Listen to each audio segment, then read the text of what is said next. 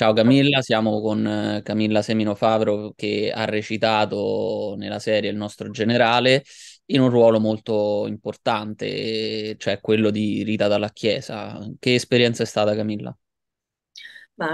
L'esperienza è stata ovviamente bella, ehm, sicuramente inaspettato inizialmente essere stata scelta per il ruolo della signora dalla chiesa, ehm, non me lo aspettavo, non pensavo che avrebbero mai potuto pensare a una somiglianza o a un ricordo. Chiaramente non si trattava di, di imitazione, di, eh, di dover essere uguale a determinati personaggi, ma si trattava chiaramente di avere un'idea, un ricordo per poter fare poi un lavoro personale eh, e esporre il proprio punto di vista. Eh, quindi io sono stata felice di essere stata scelta e poi grazie, eh, grazie a Dio poi anche il lavoro sul set è stato molto piacevole, Ho- mi sono trovata molto molto bene con eh, i miei due colleghi ehm, Luigi Imola e mm, Cecilia Bertozzi che interpretavano Nando dalla Chiesa e Simona dalla Chiesa.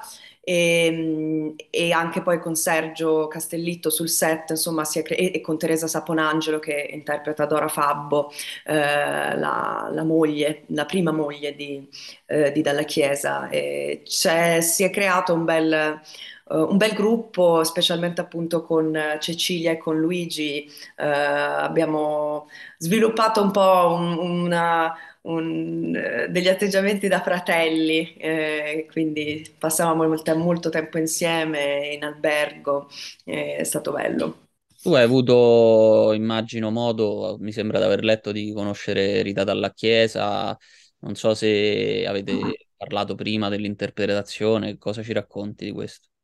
Sì, l'ho incontrata, ehm, non abbiamo parlato dell'interpretazione, lei ehm, non- aveva desiderio, io in particolare volevo incontrarla più per eh, rispetto, eh, per, per comunicarle appunto il, il piacere che avevo nel- nell'interpretare eh, il suo ruolo e, e raccontare la storia della sua famiglia e di suo padre. In più, lei mi avrebbe potuto dare anche u- una serie di elementi e di aneddoti eh, legati a tutto quello che è la sfera affettiva e familiare, no? Quindi rapporti, dinamiche tra fratelli, genitori e, e via. E, e lei in più giustamente aveva desiderio di incontrarmi e vedere che faccia avesse la persona che l'avrebbe interpretata e quindi abbiamo fatto questa lunga chiacchiera, lei è stata estremamente affettuosa e generosa e mi ha raccontato tanto, molto l'avevo già letto dai libri, da Il mio valzer con papà, Un papà con gli alamari, insomma libri sia di Rita che di tutti e tre i fratelli insieme, ehm, per avere un'idea non solo storica e degli avvenimenti, ma anche familiare. Certo, c'è una preparazione dietro, soprattutto quando si tratta di, oltre che di storie reali, comunque di personaggi che toccano la nostra storia anche molto recente, insomma. E lei ha avuto belle parole sia per te sia per la serie, perché poi eh, credo sia soprattutto significativo quando ha detto che è stato come ritrovare la sua famiglia. Di te leggevo, eh, confermami o meno, che aveva detto non mi somigliava tanto, ma mi sono rivista, quindi credo che per te sia una, una soddisfazione comunque essere riuscita a ricrearla in un certo senso, no? Non lo sapevo, non, non sapevo avesse detto questo, che non, non mi somigliava tanto, ha ragione, ma ma anch'io all'inizio ho Però detto, ma vale ancora di più, credo, no? Sì, ci ho pensato, ma cosa ci azzecco io co- con, la dalla... Poi ho visto delle sue foto da giovane, eh, è, è tuttora una donna meravigliosa, bellissima, e lo era anche ai tempi, e- però proprio non vedevo la somiglianza. Però se lei poi è, e appunto non era l'assomigliare a qualcuno, ma era il restituire un- un'energia, un personaggio, una- una- un- soprattutto delle dinamiche familiari. L'importante era che la famiglia riconoscesse il nucleo, eh, il nucleo, eh, non il nucleo di cui parla la serie, cioè eh, dei ragazzi di Dalla Chiesa che, che, mh, che hanno fatto questo enorme, immenso lavoro eh, combattendo le Brigate Rosse, ma il nucleo familiare e affettivo. Certo, che è quello che poi vediamo un po' di meno dei personaggi noti, credo, comunque magari quello che rimane anche dentro le mura di casa.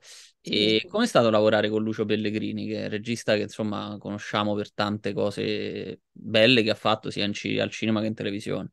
Bene, mi sono trovata molto bene. Eh, io e Lucio ci siamo incontrati direttamente sul set perché in realtà mh, non abbiamo fatto un provino insieme, io ho fatto un self-tape, questi che sono i provini fatti in casa, nati soprattutto, no, nati con la pandemia. E, mh, pensavo appunto magari in un, in un- che mi avrebbero richiamato per, e invece sono stata scelta direttamente dal video e quindi Lucio l'ho incontrato il primo giorno di set. E mi sono trovata molto bene, ehm, è sempre molto chiaro nel- in quello che desidera, in quello che vuole, nelle indicazioni, ha voglia di lavorare con gli attori. E poi con lui c'era anche Andrea Joublen che ha, che ha diretto alcuni episodi e quindi il lavoro è stato bello, insomma mi auguro di, di lavorare ancora con lui. Allora, non ti rubiamo ancora tantissimo tempo. Un'ultima domanda: cosa ti aspetti da questo 2023? Se ci puoi dire se stai lavorando a qualcosa o anche quelli che sono i tuoi obiettivi.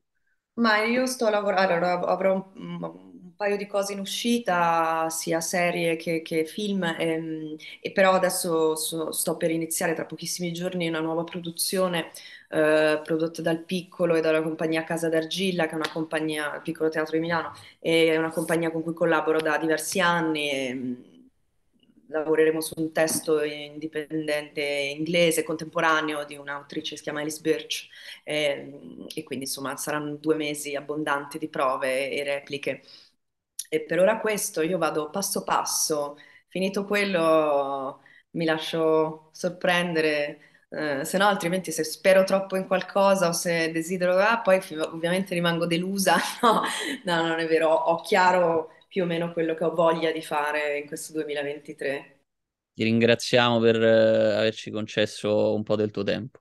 Grazie a te, grazie a voi.